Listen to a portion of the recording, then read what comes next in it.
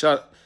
Hey, it, if you if you if you believe that somebody born at 11:59 at night on one day and then somebody born at one minute past 12 the next day, or not even somebody, everybody on this planet, every single person on the planet, and bear in mind that time zones rotate across the planet. So people that are born at 11:59, 12 midnight, 11:59, 12 midnight, and then all of a sudden the zero zero the zero zero zero one one minute past midnight the next day, kids are getting born.